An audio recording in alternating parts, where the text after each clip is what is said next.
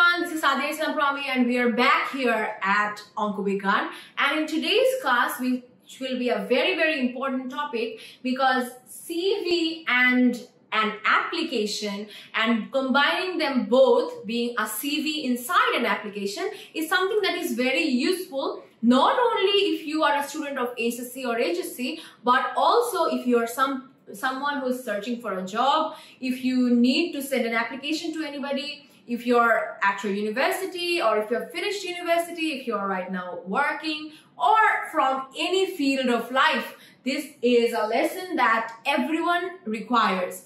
As a result, this class is super important. I hope that you enjoy throughout the class. So to start off, we have to say what a CV is.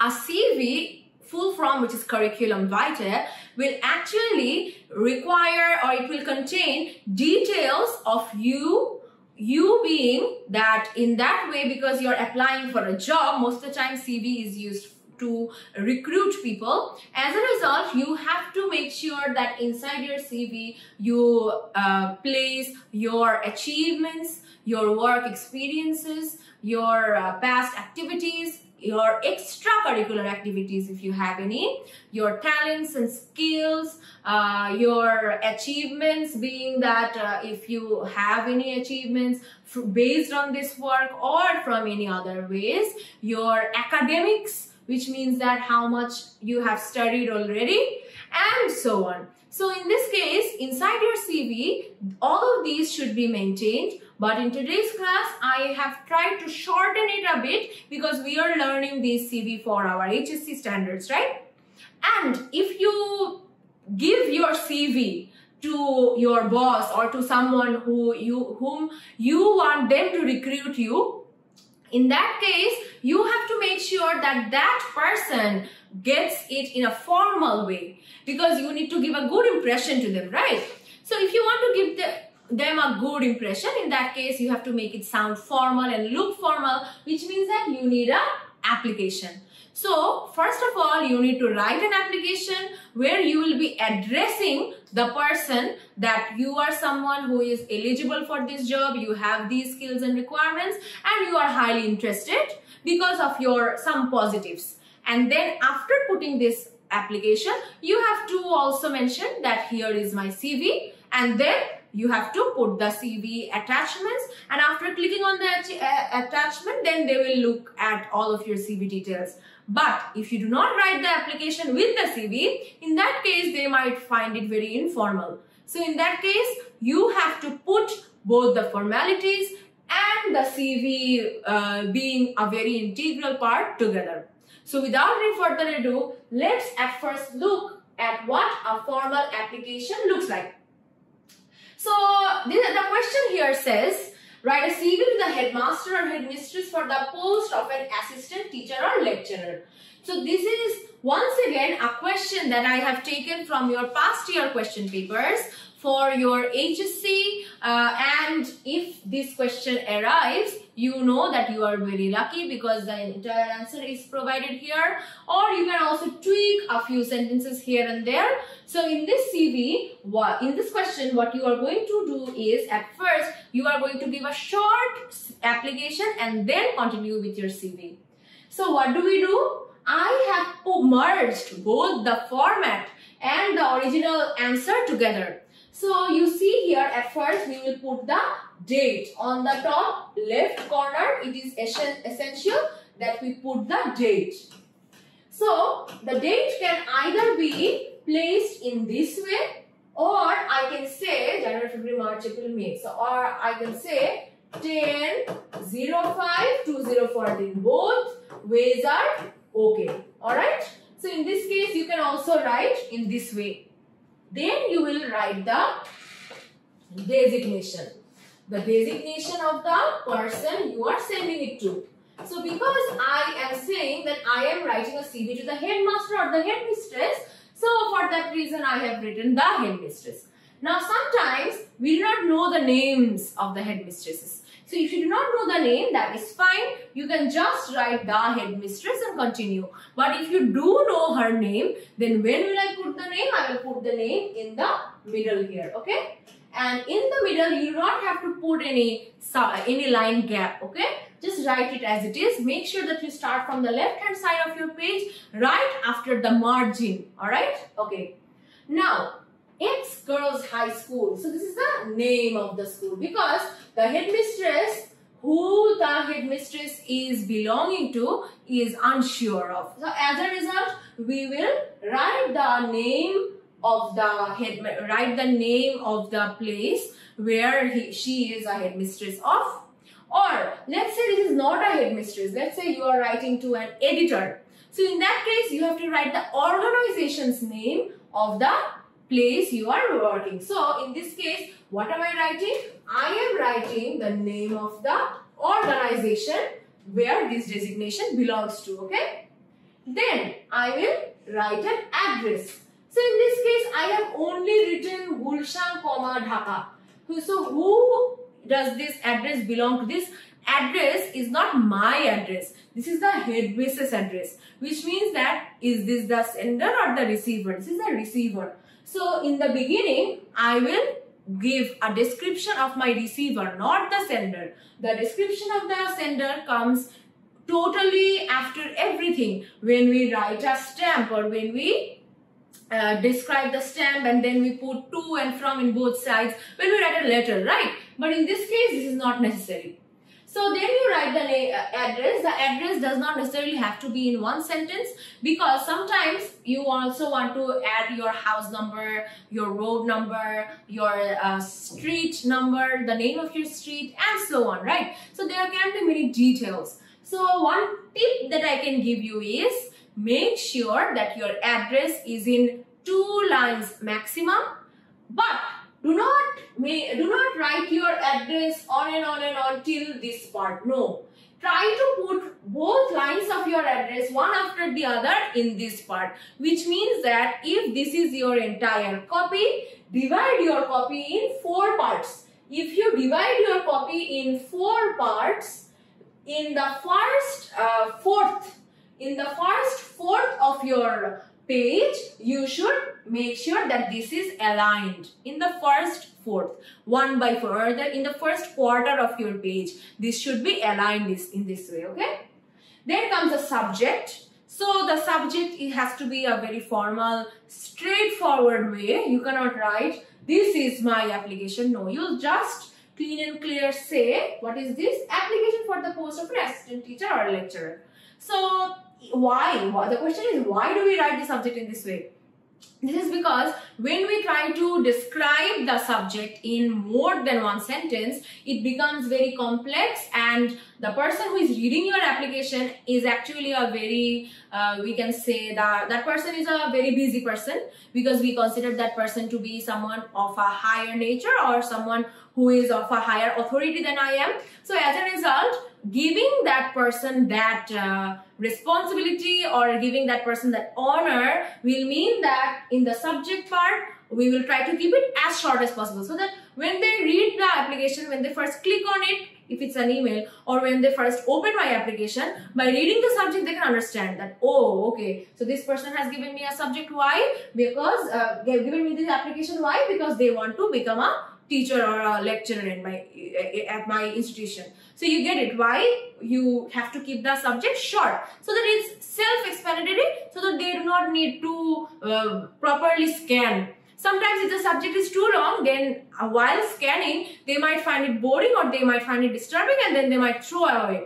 Right? I'm just saying that hypothetically this can occur. So let's not go there.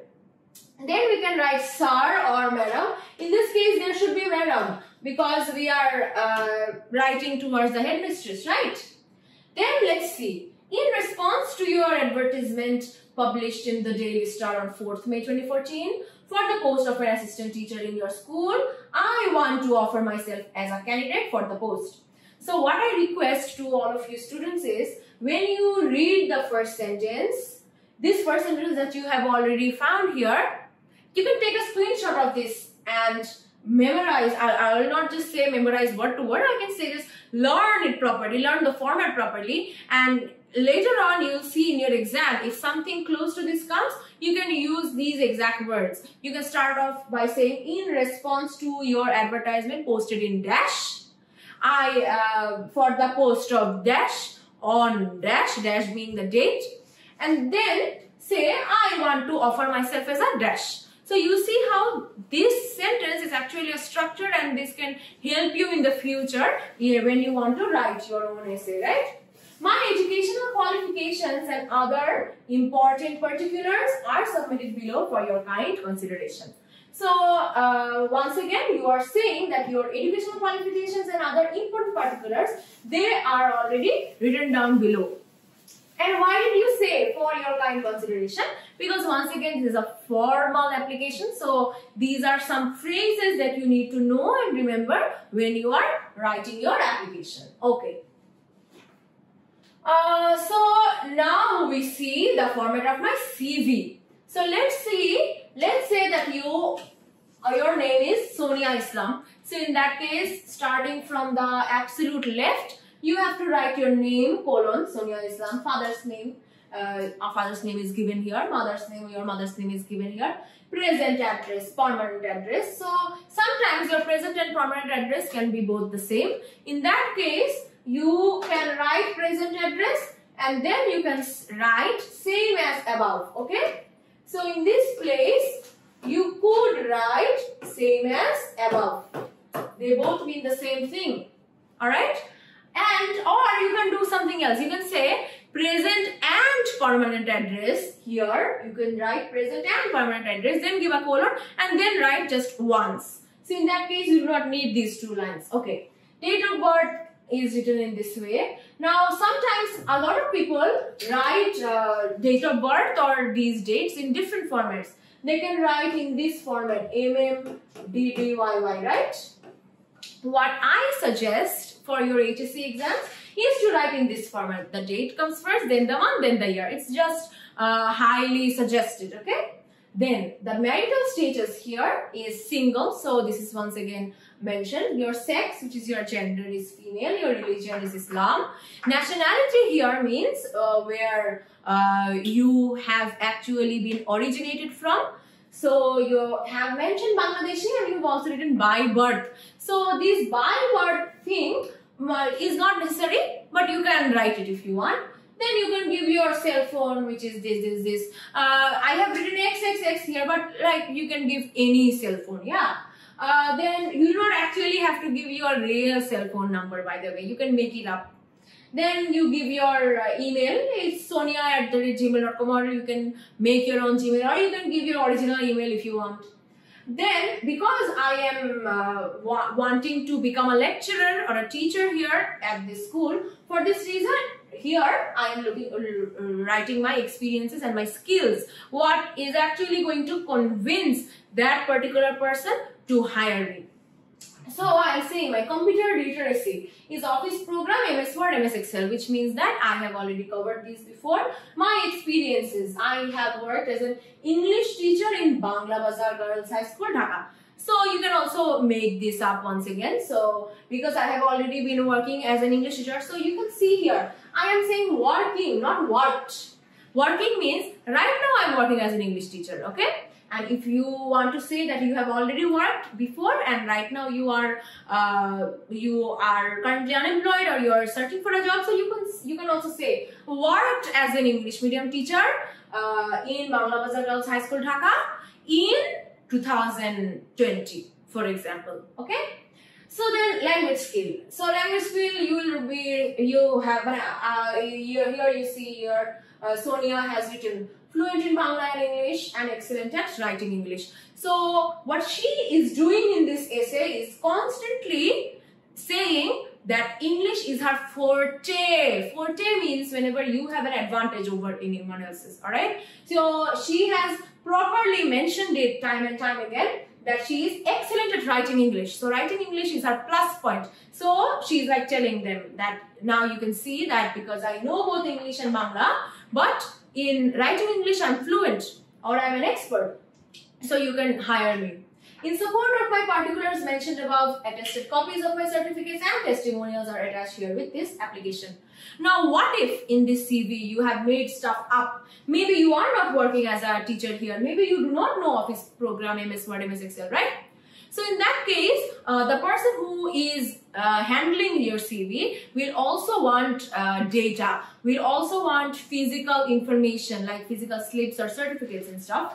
So if you have any certifications for let's say MS Word, MS Excel or uh, any proof that you have been working at, as an English teacher. So all of these certificates, all of these copies or scanned copies, if you are putting an email, you need to scan them or if you are putting, uh, giving it to them physically. So in that case, photocopies of all of your data or all of your certificates and things that are given as proof must be also provided. So you are also mentioning here. So see, this sentence from this till this should be, uh, should be not, uh, I'll say that it can be common for any CV that you write. Then we say that in the above circumstances, I hope and believe that you would be kind enough to consider my application and appoint me to the post prayed for. So you are saying that because so many things uh, are already placed in this application, are placed in this CV. So because of this, I hope and believe that you will now be kind enough to give me a chance to talk to you at an interview or take me directly, uh, hire me as an English teacher, yeah?